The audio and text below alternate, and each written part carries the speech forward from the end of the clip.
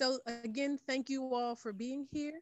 Uh, this is our interest meeting for our first annual Freedom Rides USA South tour of 10 US states, nine of which are in the South of the US and one in the Midwest. We are leading you through the Civil Rights Trail um, and we are focusing on young activists and artists that powered the civil rights movement and the impacts that the civil rights movement still has on us today. We have with us two of our curators that will be with us on the Civil Rights Trail, and we're really excited to have Mr. Rufus T. Stephen out of Washington, D.C., as well as Dr. Salima Marriott out of Baltimore, as well as currently Atlanta.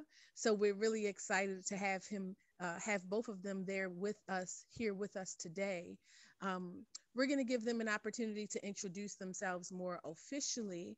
Um, but first, we just want to talk about what the tour will consist of and some of the options that are available for civil rights activists that would like to join us free of charge. This is the first tour that we've been able to offer to civil rights activists free of charge. And so, if you are out there and you gave your life to that movement, um, please, please contact us. We want to hear from you, um, especially if um, the work you did in your area has not been officially recognized. Please give us an opportunity to connect that history um, to a generation that may not be aware of the impact and power the civil rights had on shaping citizenship, global citizenship, and the standard uh, for holding governments accountable uh, to the citizens that they represent.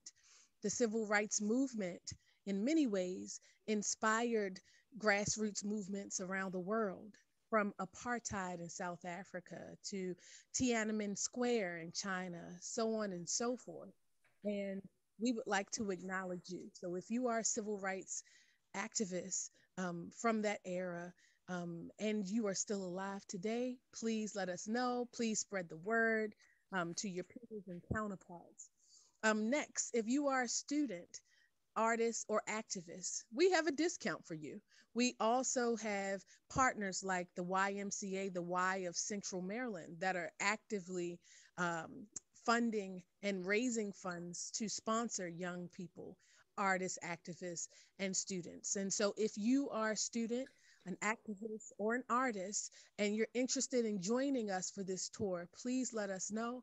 The YMCA Y of Central Maryland is able to help sponsor and defray the cost of your participation. So let us know today.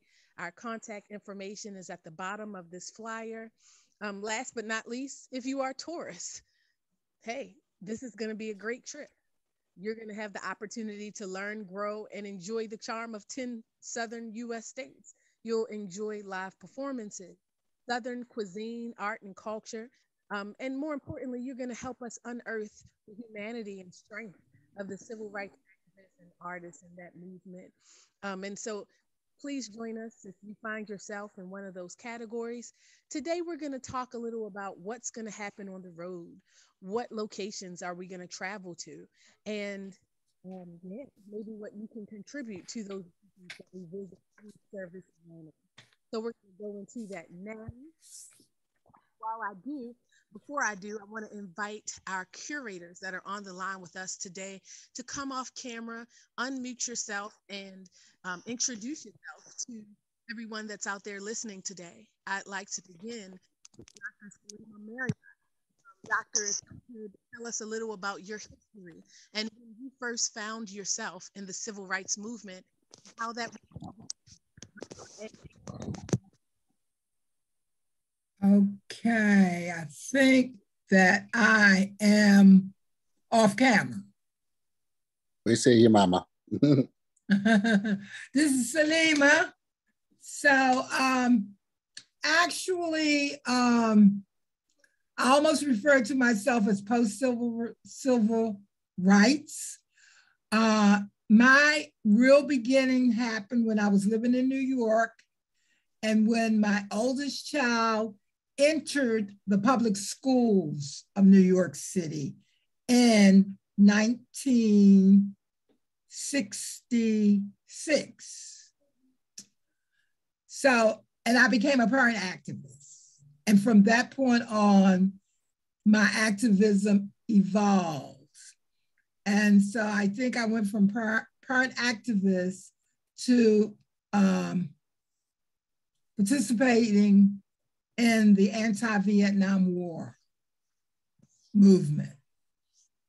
And when I relocated back to Baltimore, I continued as an activist and just continued to get involved in a number of different activities from 1968 through, um, I, I guess I would just, rather than to go blow by blow detail, it was mostly uh, more leaning towards Black power, but it was um, about equality and justice. So it is that part of the civil rights movement, which I'm referring to as post civil rights. Um, and then my activism actually involved into a major focus on women, the rights of women, feminism. I'm gonna, put it in the proper perspective. So I consider myself and the things that happened subsequent to that as an African American feminist activist. And that's where I did most of my work. And uh, it kind of shaped my life, my work, as well as my legislative experience, because ultimately I realized that I could get more done on the inside than the outside than I was getting done on the outside. And I learned that through the anti apartheid movement. That was a big part of my work.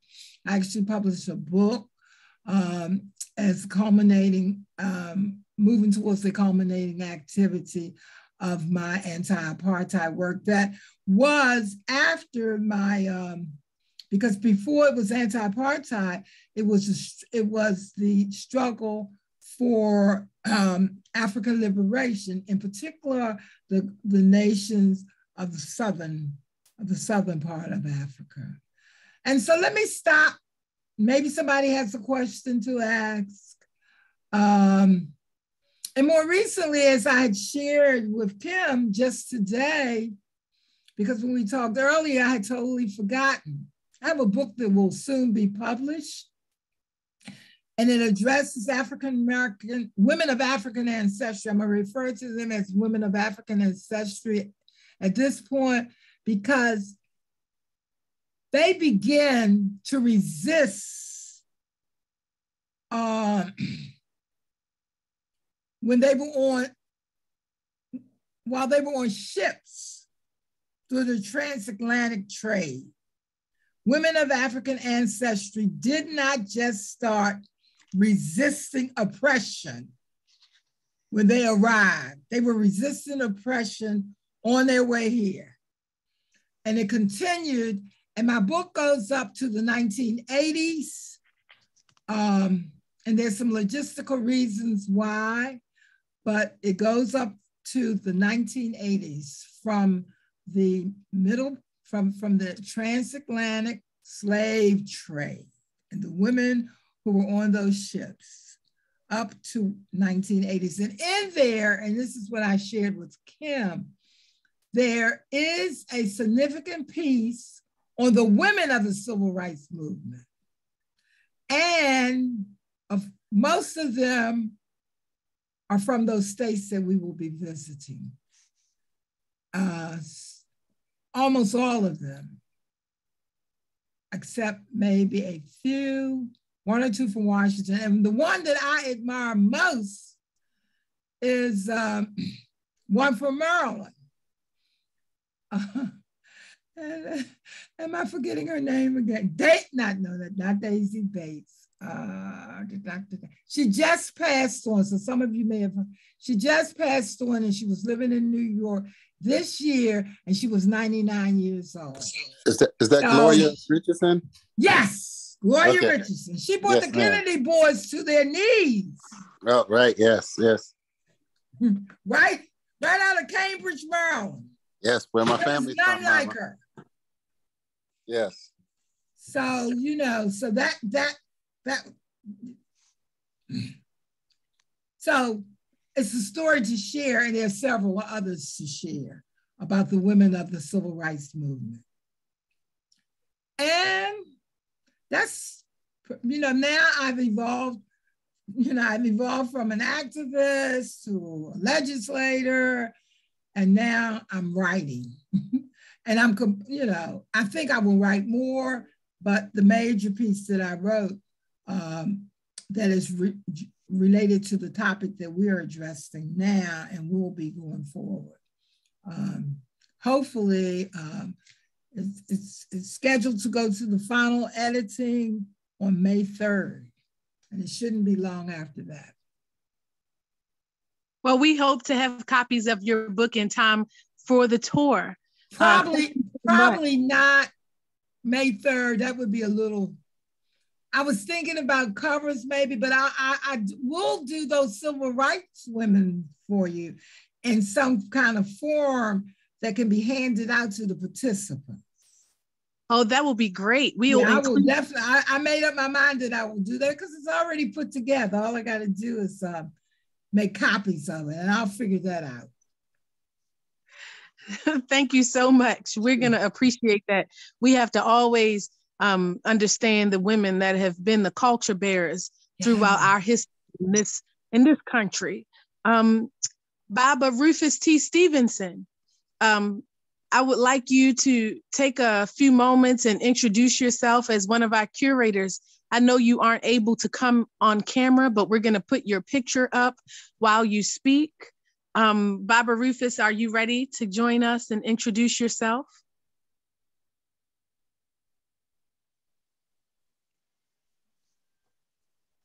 Baba Rufus, can you still hear us?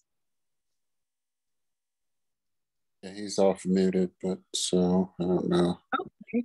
So we will come back um, to Baba Rufus. Hopefully, he'll be able to join us soon.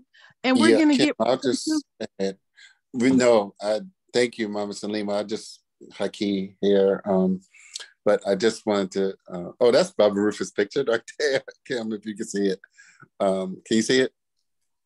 We can see yes. it. Okay. Oh, beautiful. Well, thank you, Mama Salima. Uh, and I, it's, it's great to see you again, and it's good you keep working, and that's honorable. Um, but I, I'm so appreciative that you're doing this work with for uh, Mama Gloria Richardson. My family is from Cambridge, uh, Maryland, oh. and um, you know, and a lot of people don't know about uh, her work. Uh, you know, I mean, and she was uh, both a disciple of Dr. King and Malcolm X as well. So uh, I think it's uh, essential.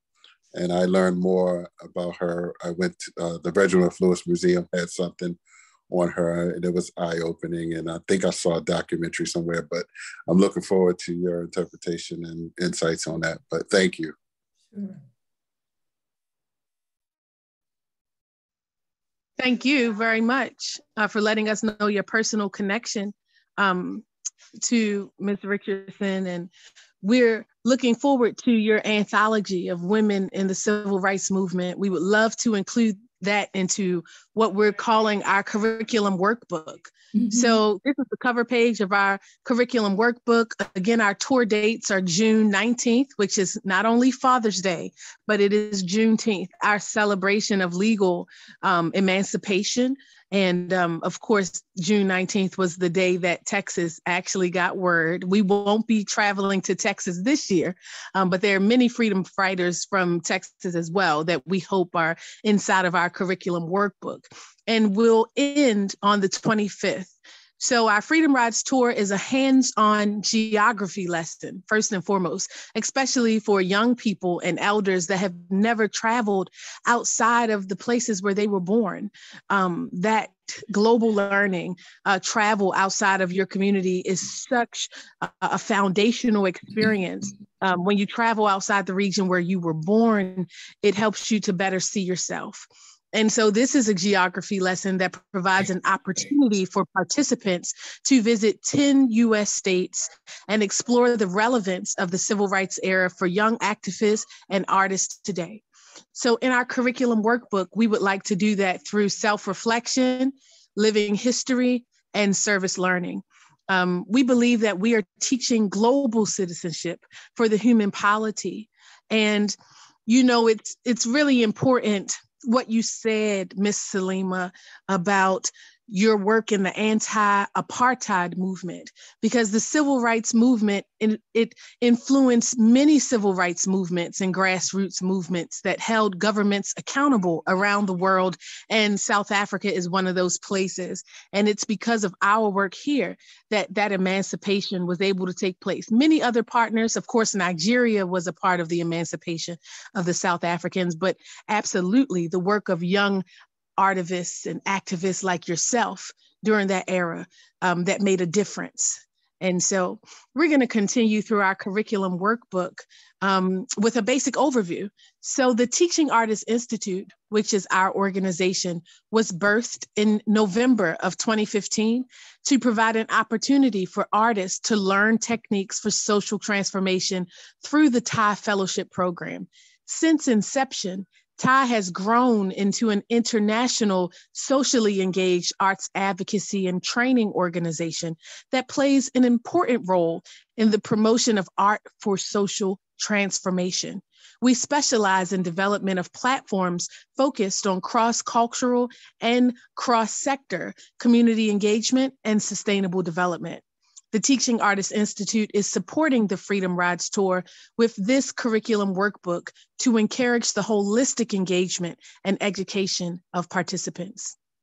So during the Freedom Rides, we'll be using living history reenactments, cultural immersion, and community service. Our tour cultivates the deep reflection and introspection needed for learning good citizenship in our human polity.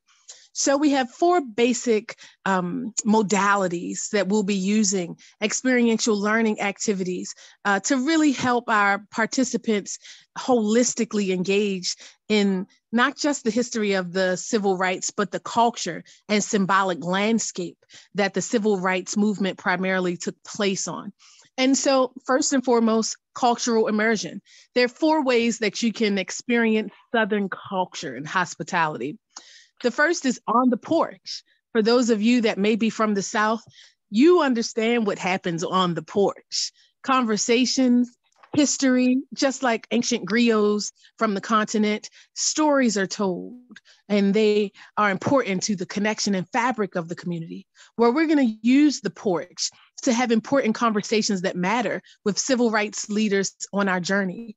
Right now, our partner, the International Civil Rights Museum out of Greensboro, North Carolina, is in communication with Miss Myrlie Evers out of Mississippi. You all know that her husband, Medgar Evers, was assassinated in front of her and her children in front of her home as a civil rights leader because of his work in the civil rights movement. And we're going to have a conversation with her on the porch about what it feels like to heal what it feels like to forgive what is what type of strength is needed to forgive that atrocity the murder of your husband in front of your children in front of your house um, that kind of strength is something that's still relevant today.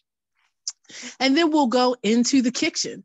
There's nothing like southern hospitality outside of the kitchen. And so of course in a perfect world our tour would go through charleston south carolina. However we are not going to be able to go to Charleston. It's too far off our path. When we go through South Carolina, we'll only go through Greenville. However, we're bringing sand to the beach. We are working with culinary artists from across Charleston, and they're going to pack up their bags and meet us in Greenville, South Carolina, and provide the culinary arts experience that will teach them about the golden uh, rice of South Carolina and how they've used that and so many other uh, traditional dishes from that region to um, really taste what Southern culinary cuisine tastes like at its best. Then we're going to the church you know the southern uh, states is really in a lot of ways the bible belt that's how we refer to it and the church hasn't always been um, a sacred experience for us. Uh, during the civil rights movement, uh, we had bombings of four young girls uh, because this church was a beacon for the civil rights movement. In the African American community, the church has always been uh, in support of our socio political movements.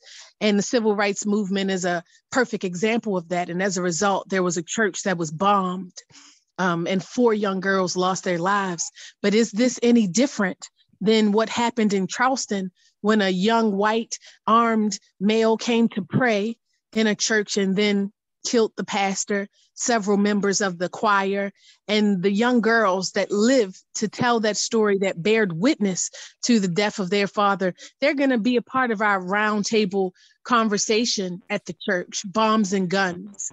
Um, and then, of course, nothing in the South without Main Street. And so we'll have free time as a part of our cultural immersion, just shopping on Main Street, going into the pharmacy and making a sandwich, buying your cough drops and what have you, going into the antique shop.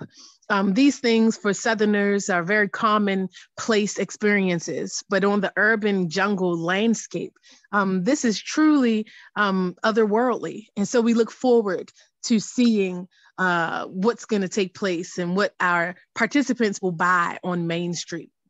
Uh, two, experiential learning, we have artivism, the music of the movement.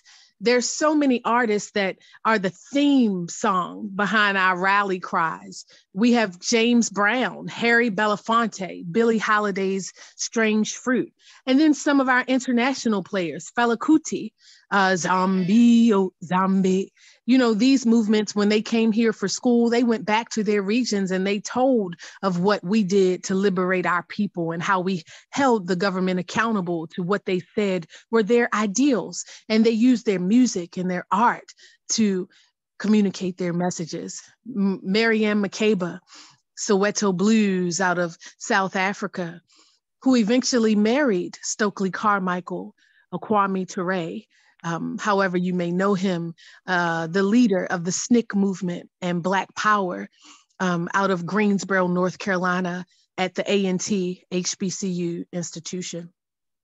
Thirdly, we're gonna have my very favorite living history reenactments. Living history is our way of using the theater arts to take history off the page and bring it to life and be immersed in it fully. So we'll have three living history reenactments during our tour. The first is mock trial. In our mock trial, we'll be using Brown versus the Board of Education in our final destination of Topeka, Kansas. And I'm gonna go ahead and I think I hear someone in the background.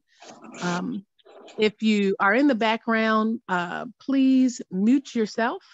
Um, and if you're on the phone, I guess you can't do that.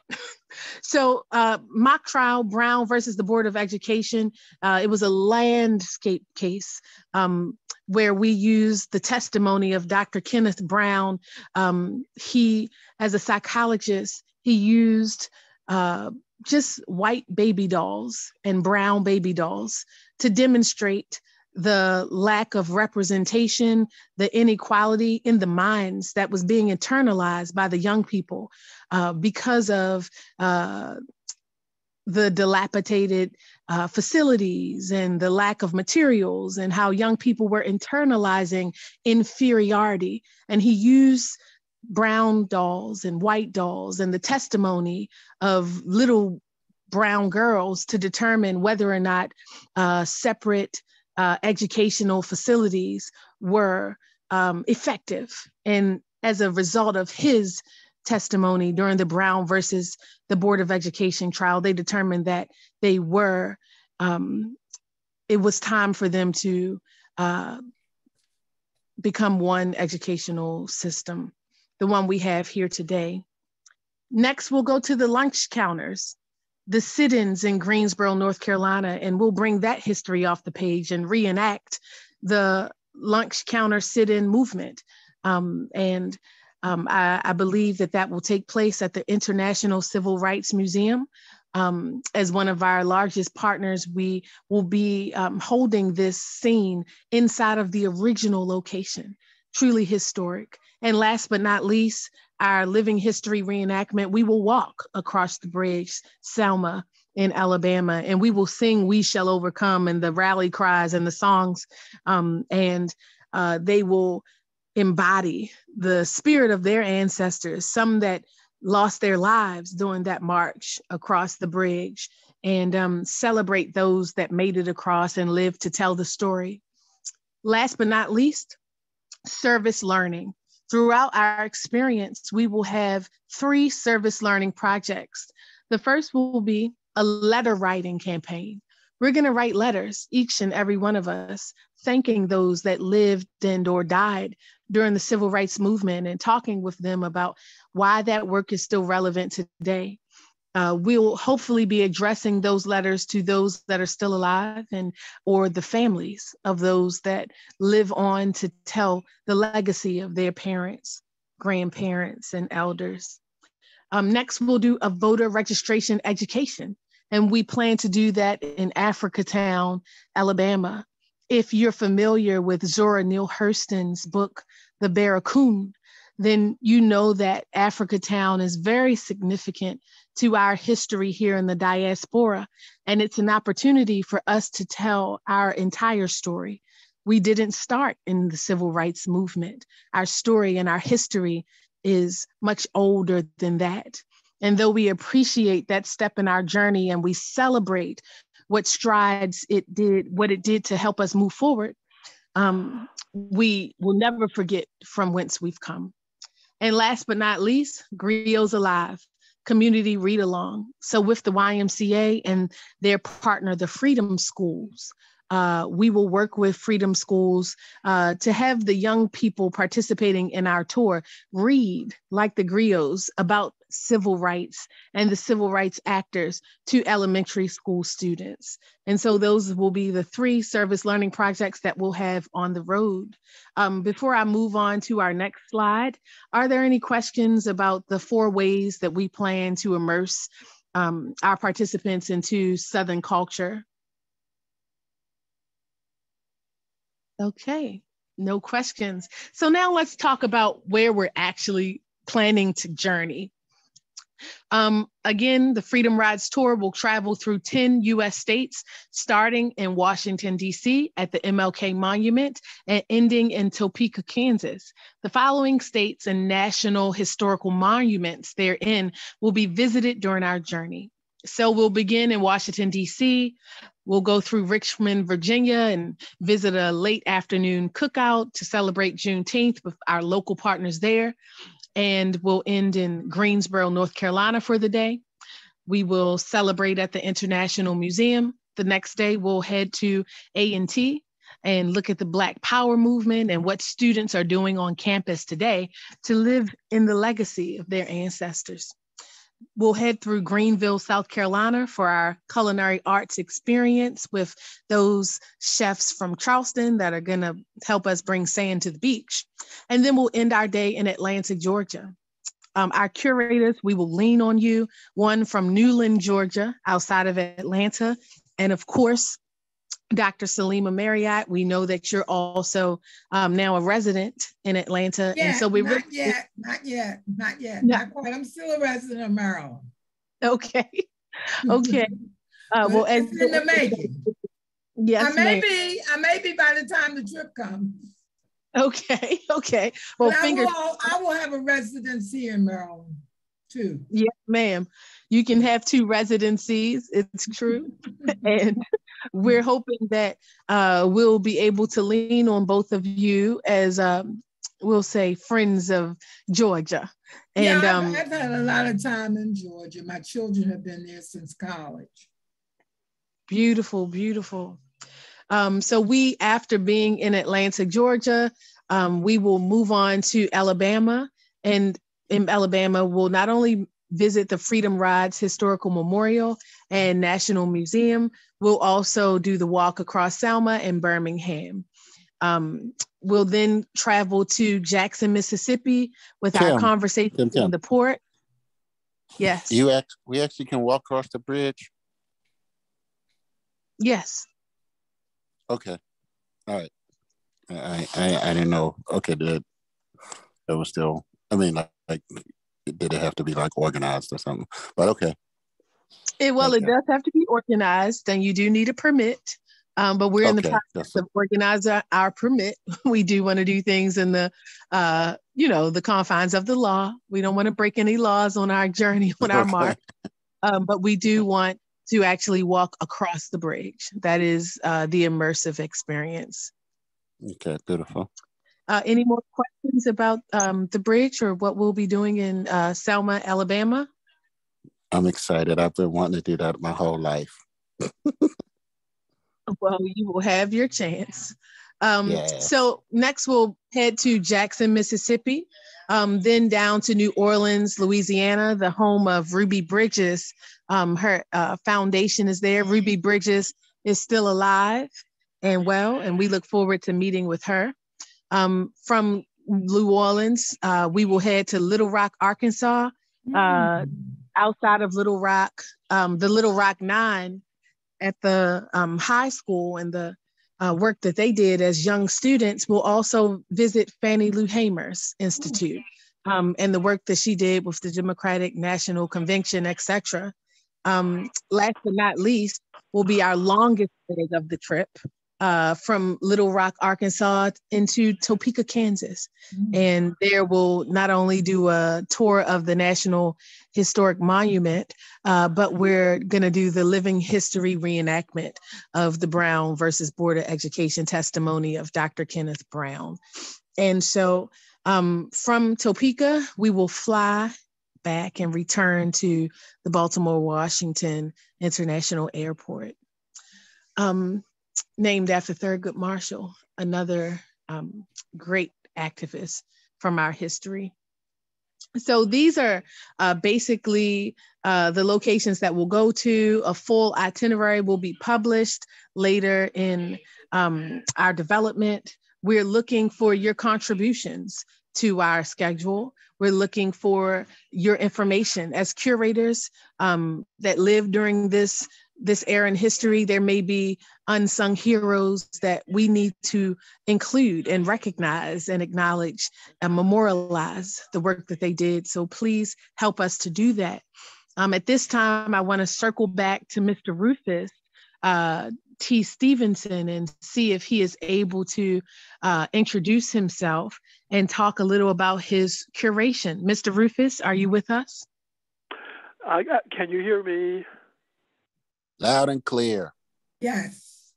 Very good. I had difficulty with the cell phone, uh, and I got on the computer, and I ended up on my uh, house phone calling. Uh, thanks for inviting me uh, to be a part of the Zoom meeting.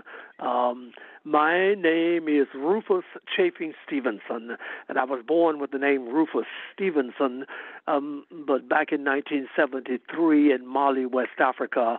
Um, um, that experience changed my life, uh, and um, Malians want to know exactly what uh, what Rufus Stevenson meant.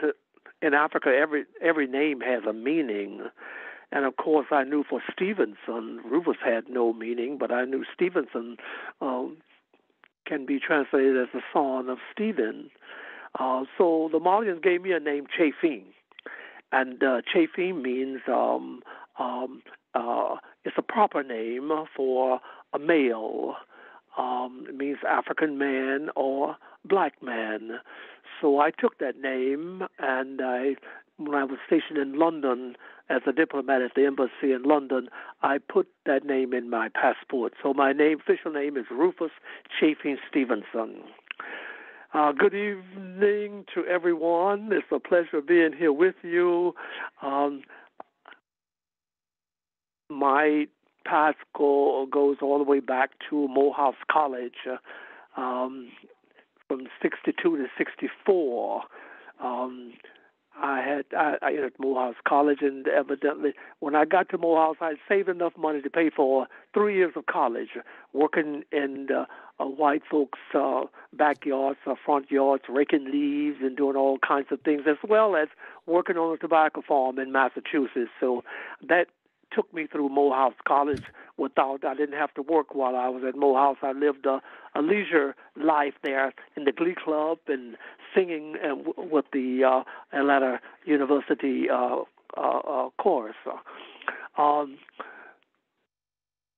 it where to start talking about. I was at Morehouse during the whole uh, um, initial um, civil rights movement, and of course, uh, many memories uh, come to mind. Uh, uh, during that time, one of the main things that comes to mind is I remember when Malcolm X was when he debated at Harvard, and the next day he came to Morehouse. It scared us all to death. Uh, I know it scared me to death because black folks in the South didn't didn't call the white man devil or devil. But Malcolm X and Morehouse was calling the white man the devil. And of course, we said we thought about that in the South, but we always said it silently so no one would hear us say it because of the the the the, the trauma that we had all gone through uh, living in the South and whatnot. Uh, but Malcolm X uh, shook me up, uh, and uh, I, I will never forget that uh, experience. Uh, but during that time at Morehouse, I also joined the sit-ins, and one day I had a chance to uh, speak to Dr. King as he passed through the campus and whatnot. I met him and whatnot. Um, I did have uh, joined the protest, and I I uh, I marched, and I'll never forget one day downtown um, in front of Rich's, uh, one of the great department stores in Atlanta, that we were trying to integrate integrate the lunch counters and whatnot. Of course, you couldn't at that time. Um, women, you couldn't buy clothes and try them on and things like that. But I remember marching, and this uh, this white man came in front of me and and looked at me and spat in my face. Uh, um, and uh, of course, we had had um, uh, training prior to going um, downtown to march, and it meant that I just uh, made a step around, a few steps around him, and continued with my back uh, uh, towards him, not knowing what he would do next.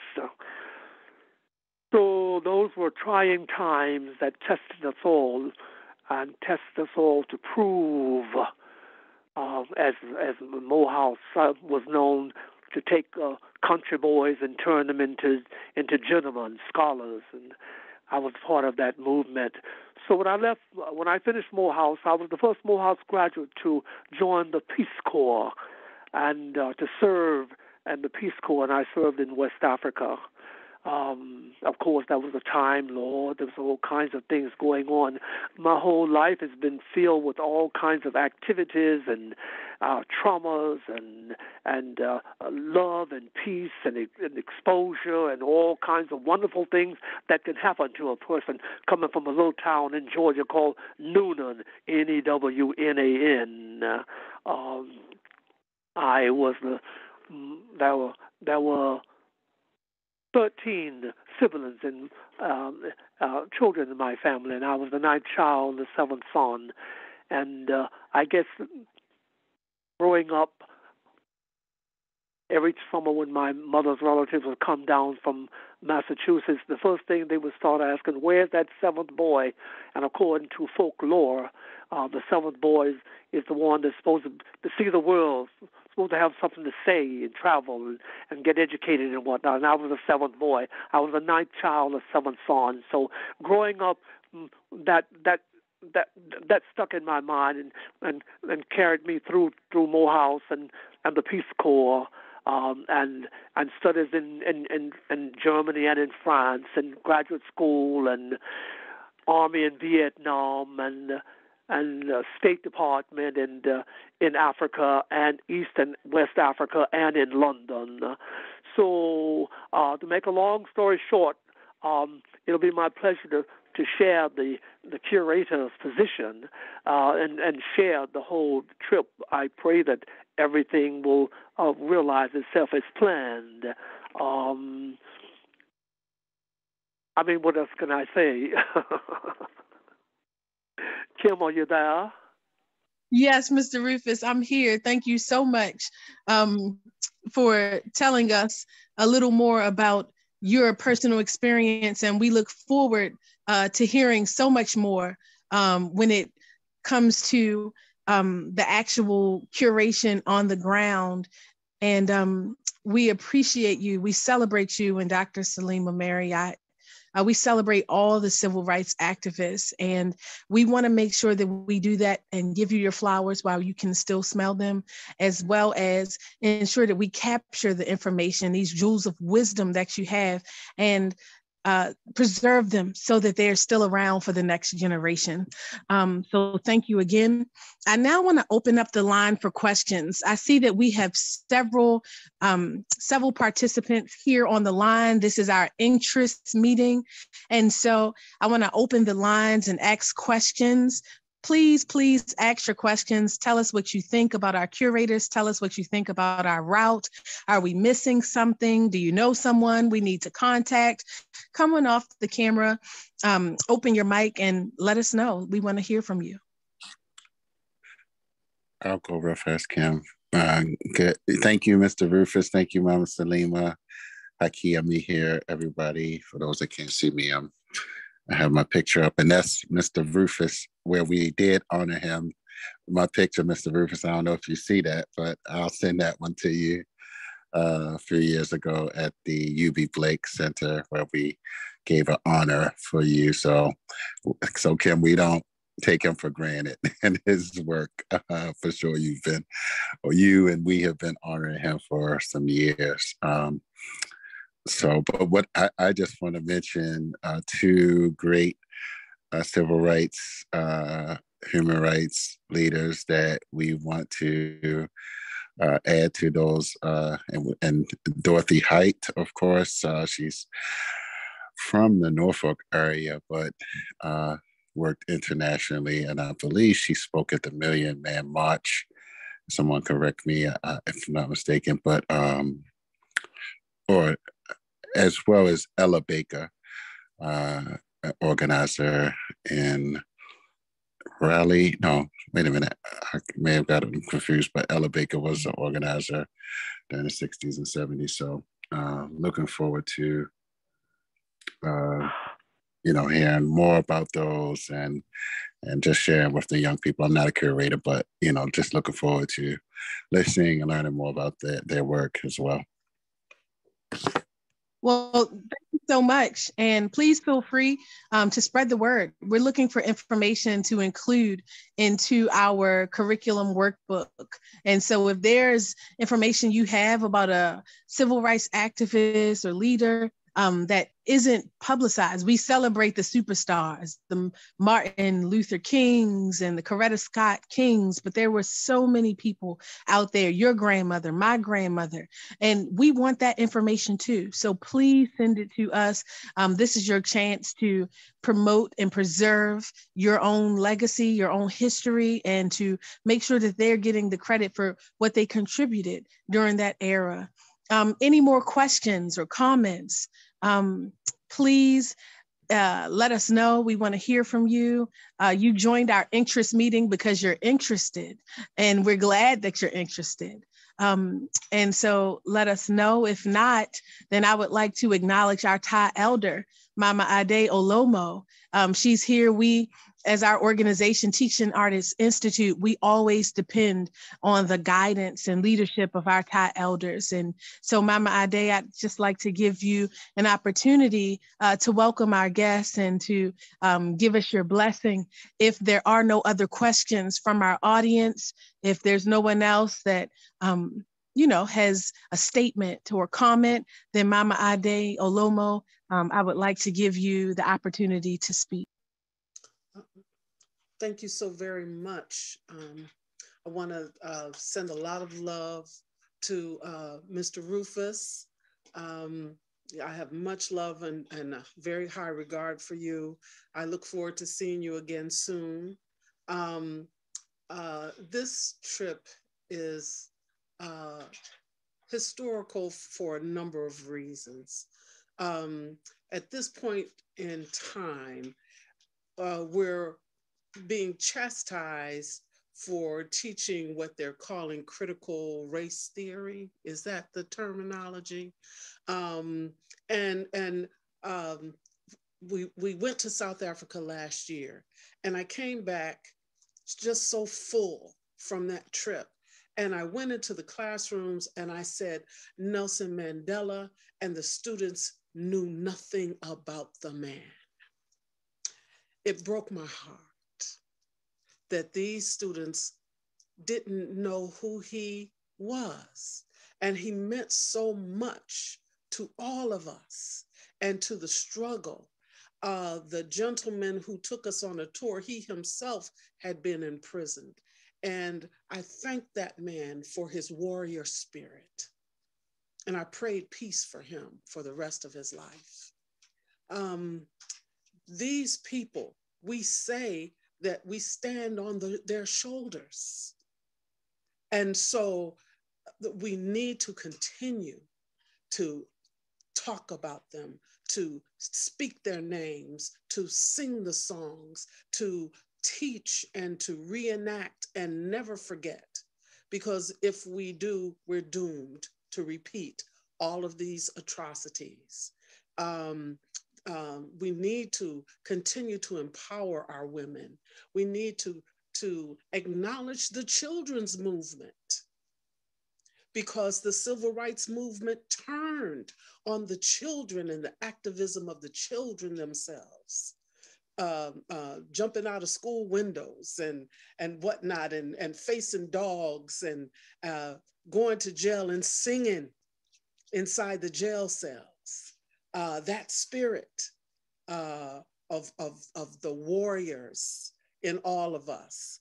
Uh, so I'm, I'm so very much looking forward to this trip.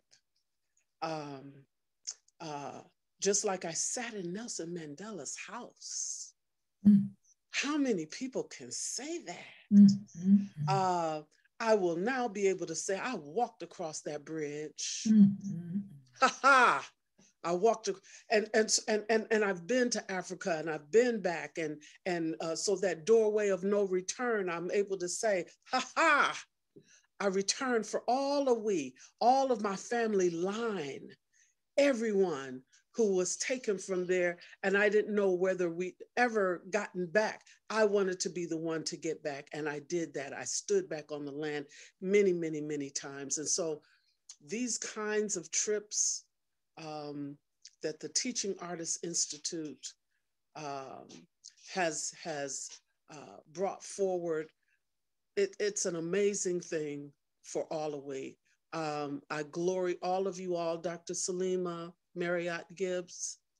Um, I glory you in the work that you do, uh, and all of us, and certainly uh, Kim Poole. I call her yeah. Kim Possible because um, this is indeed uh, a spiritual journey that we're all on, and she she does it well.